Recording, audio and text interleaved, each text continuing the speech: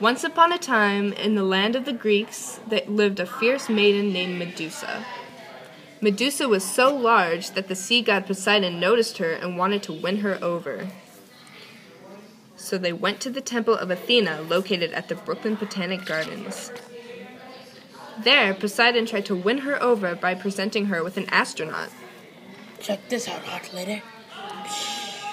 Medusa was very itchy and shouted out, Zooey Mama! Mama! The great goddess Athena was enraged at the gall of Medusa and Poseidon's shenanigans in her temple that she instantly turned Medusa into a hideous monster with roiling snakes for hair. From then on, anyone who dared look at Medusa would turn into a stone statue. You're hideous! You're so ugly! That is, Ah! until the fat god Perseus saved the day by chopping off Medusa's head when he saw her at the Brooklyn Museum. From her blood sprang a zombie chipmunk. The end.